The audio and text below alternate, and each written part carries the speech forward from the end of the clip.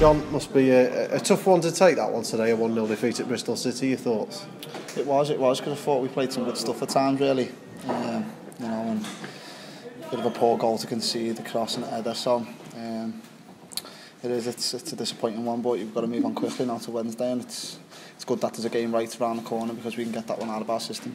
Did you feel comfortable today for large parts? You seem to be, as a team, knocking the ball around really well throughout. Yeah, as I say, I thought we did play some decent stuff at times, and don't know if the word comfortable is the right word to use, but we were okay. We were, we were, we were playing good, some good stuff. I thought we could have nicked it. We had a couple of chances. Um, I think we nullified their threat quite well. So, um, yeah, just a tough one to take, really.